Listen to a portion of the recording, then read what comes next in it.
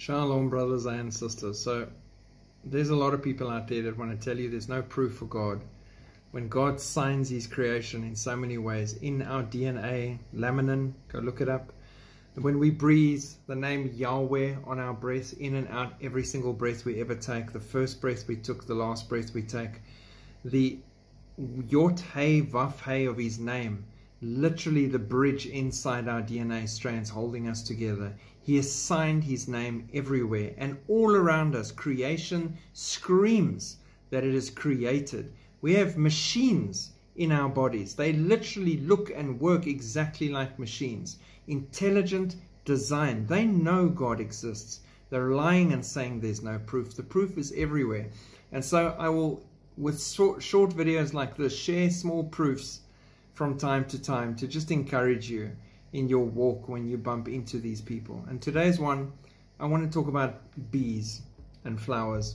I particularly, when I'm relaxing and out and about, I love taking photographs of bees really close up. They're beautiful. I, I absolutely adore them. Um, and I've been chased by them. It's hilarious. I can tell you stories some other time. But bees and flowers, I love taking pictures of. It's just so amazing what God has created. Now, the interesting thing is, and this is what I want to share with you today bees have a positive charge on their bodies, flowers carry a negative charge. Now, when a bee comes and lands on a flower, the pollen that he's come to collect literally jumps onto his body because of the negative to positive charge.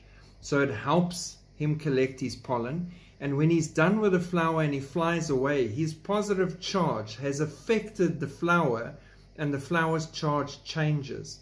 So when the next bee comes along, it sees that the charge has changed on this flower and there's no pollen to be had, so it moves on to the next one in the field. And this is how the communication between plant and bee takes place, and they can clearly see what's happening. That did not just spontaneously occur from a bang of nothingness. That is intelligent design by the God of the universe, and it is right there in front of us in everything. And today's example is a great example of exactly that. We, at our levels of science, and even in previous generations where I believe we were even further along in the times of Noah, we cannot recreate the system between bees and flowers. We can't. And there it is. Design. God is in control. God created everything. Shalom.